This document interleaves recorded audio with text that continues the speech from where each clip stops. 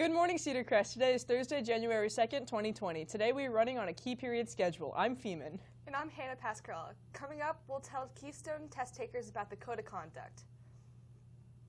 Also, we'll announce the Week 17 Wings of Praise winners. We'll be right back with this and all your school news. Please rise for the pledge to the flag. Please rise for the pledge to the flag.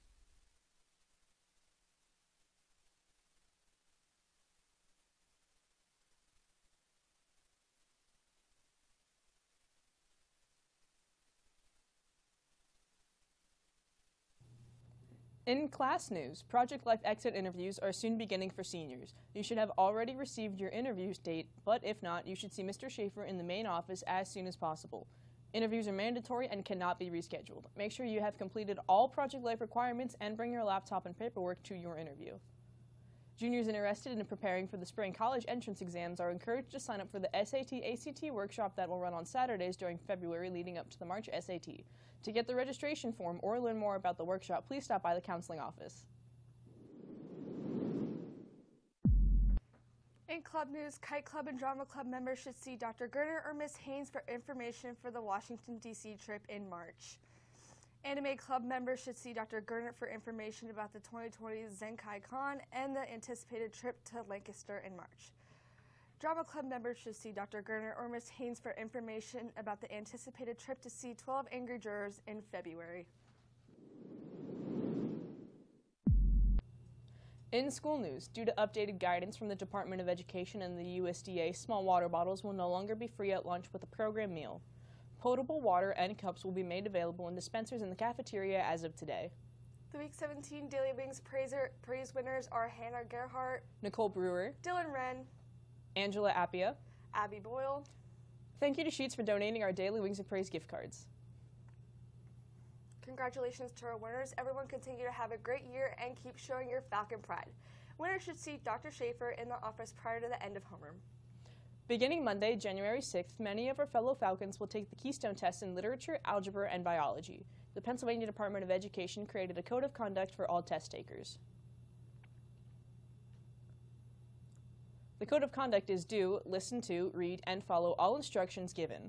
Ask questions if you do not understand the directions. Read each question carefully, especially the multiple choice items that ask for the best answer.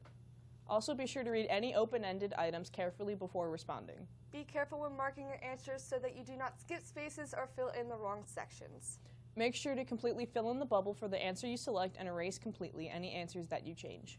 Keep your eyes on your own test. Try to answer each test item. Check that you have completed all the test items in the test section before closing your test booklet or submitting your final responses online. Report any sus- suspected cheating to your teacher or principal. Do not have notes in your possession during the test. Have any unapproved electronic devices in your possession during the test. Note you may have approved calculators if applicable during the test. Share a calculator with others. Use the bubble in the answer booklet to either eliminate possible incorrect answers or possible correct answers by mark- making marks in multiple bubbles and erasing.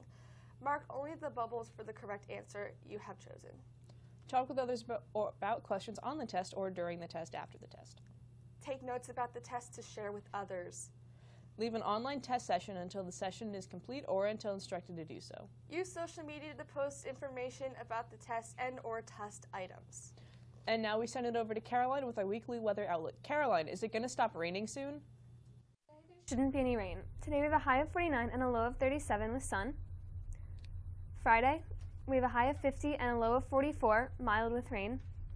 Saturday has a high of 50 and a low of 33, mild with rain. Sunday has a high of 40 and a low of 31 with rain. Starting next week, Monday has a high of 42 and a low of 27 with clouds. Tuesday has a high of 43 and a low of 28 with clouds. And wrapping up Wednesday has a high of 38 and a low of 22 with wind and clouds. That's all for your weekly weather outlook. Back to the desk. That's all for your morning announcements today. I'm Feeman.